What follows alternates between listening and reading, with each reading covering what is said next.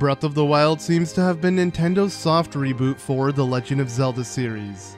The game removed most of the traditional aspects that we had known about the series prior and gave it new life. Link was no longer the iconic character dressed in green, but now a hero clothed in blue. Before, Link would need a fixed set of core items for each dungeon and area, and without these particular items, Link would never progress forward. This was all changed with Breath of the Wild.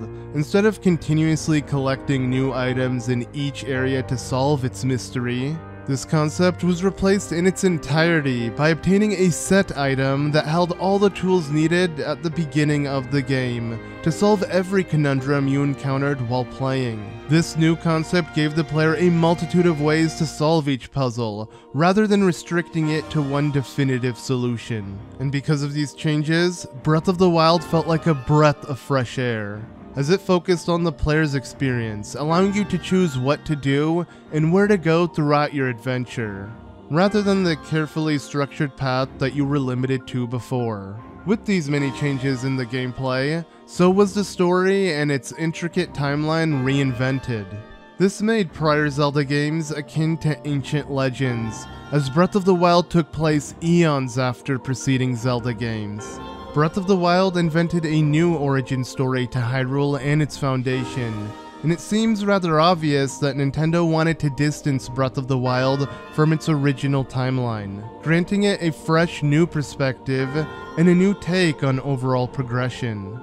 And it makes sense why Nintendo decided to reset the series' history with a new timeline that is no longer connected to its previous ones. The story in the former Zelda games is haphazardly incoherent, branching into three different timelines with many inconsistencies and minor plot holes strewn throughout the games. It felt like Nintendo only made the official timeline to please its fanbase who wouldn't stop asking for it. And for that reason, Nintendo implemented the official chronological ordering of each Zelda game's events with the Hyrule Historia. It was meant to be the canonical timeline for the series, confirmed by Nintendo themselves. But even then, many aspects of the timeline didn't make complete sense. It seemed that Nintendo's main method of progressing the series' storyline was to loosely connect them to one another. Unless it was a direct sequel, of course, like Majora's Mask to Ocarina of Time or Tears of the Kingdom to Breath of the Wild.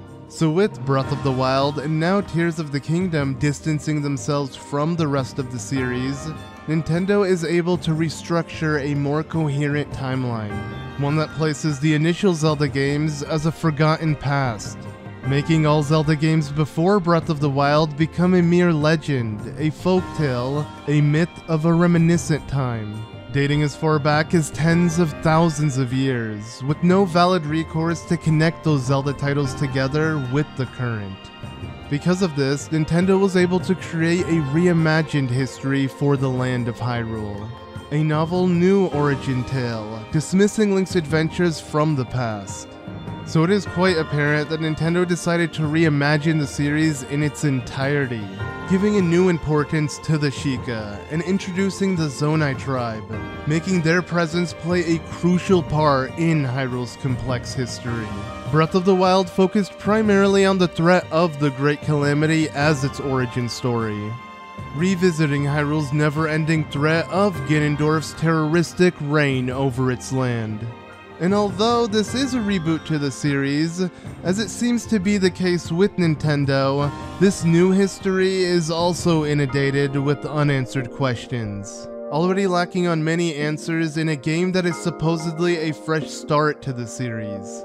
Though with Tears of the Kingdom, Nintendo decided to remedy its lack of narrative with an account of Ganondorf that predates the Great Calamity, creating entirely new lore for Hyrule Kingdom. Tears of the Kingdom introduces this new take of Hyrule's first king and queen, their lives, and their relative relationship with the Demon King Ganondorf, explaining a new origin story for Ganondorf.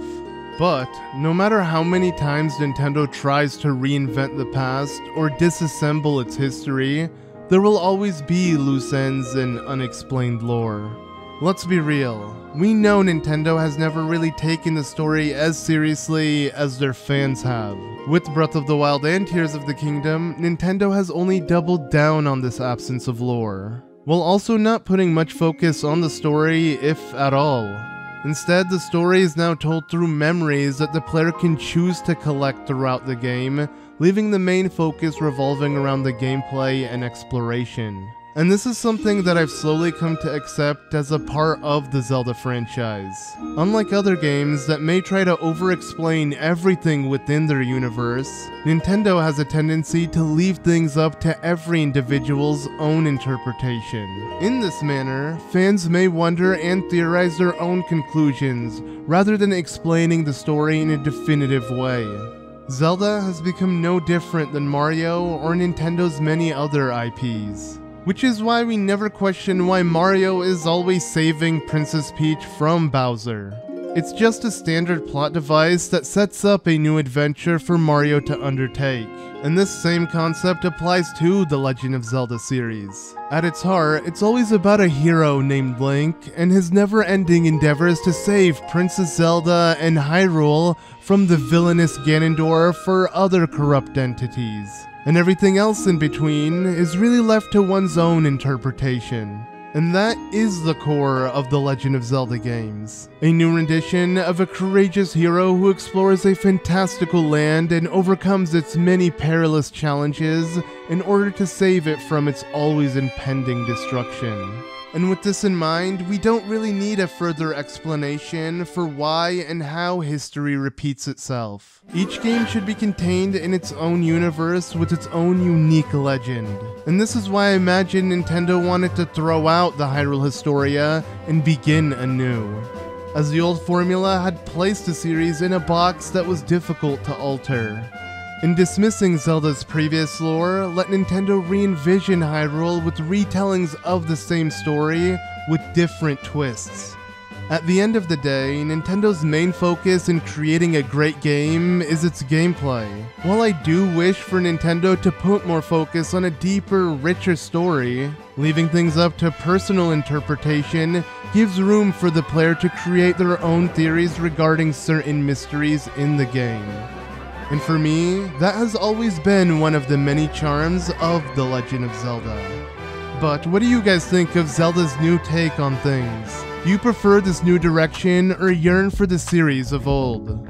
While I'm sure many fans, including myself, will still theorize and speculate about the many enigmas the series holds, I don't think Nintendo really gives much thought to those concepts. But again, that's the beauty in making room for individual speculation.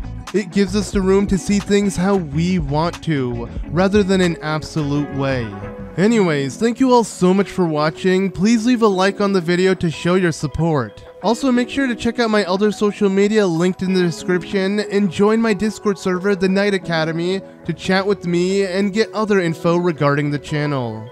As always though, I've been ZM, and I'll see you all in the next one.